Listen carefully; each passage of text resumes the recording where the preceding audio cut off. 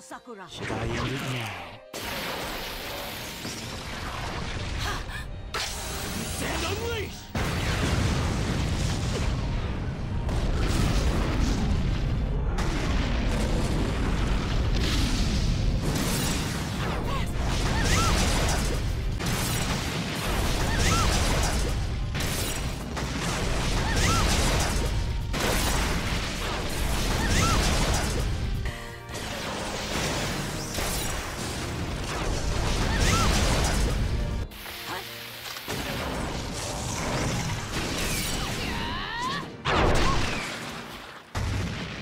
You are impressive, but